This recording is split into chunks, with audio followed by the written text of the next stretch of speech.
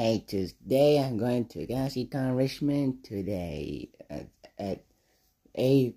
I'm going to drive to 8 a.m., but I'm going to make it to 10.15. Hope so. And dressed as Apollo Creed from Rocky 4 and the Core Warriors was a tent appear in it. And it will be a lot of fun since I'm going to meet a lot of awesome people. And you're gonna know when the video when my when I make my video of it. So stay tuned. It'll be a fun day.